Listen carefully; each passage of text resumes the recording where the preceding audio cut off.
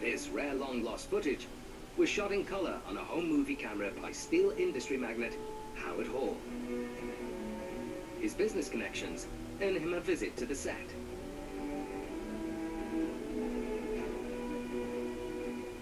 While his leading man Clark Gable relaxes, his co-star Vivien Leigh is adorned with a little more makeup.